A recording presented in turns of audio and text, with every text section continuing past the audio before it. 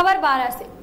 प्रदेश Congress committee के आह्वान पर बारह जिला कांग्रेस कमेटी के निर्देशानुसार ब्लॉक कांग्रेस कमेटी अटरू के ब्लॉक अध्यक्ष गिरिराज थाकड़ के नेतृत्व में विशाल धरना प्रदर्शन किया गया।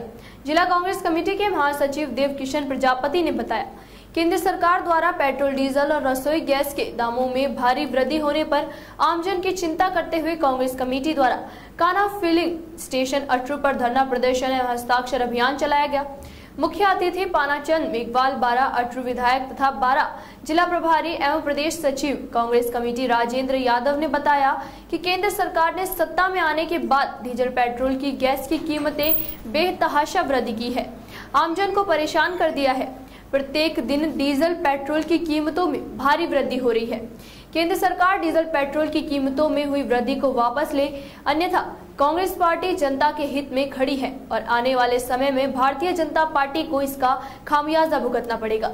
अनेक पदाधिकारियों ने अपना संबोधन पेश किया।